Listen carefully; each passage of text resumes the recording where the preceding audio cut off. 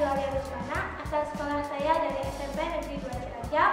Saya berasal dari kelas B. Di sini saya ingin menyampaikan materi penggalan rakit poin 6 tentang ciri-ciri pengendalian emosi diri.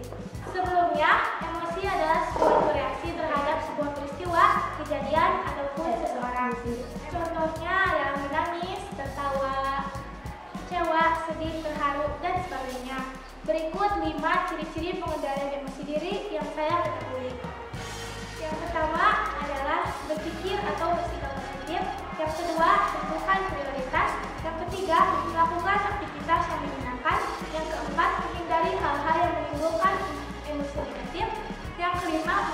dasarnya.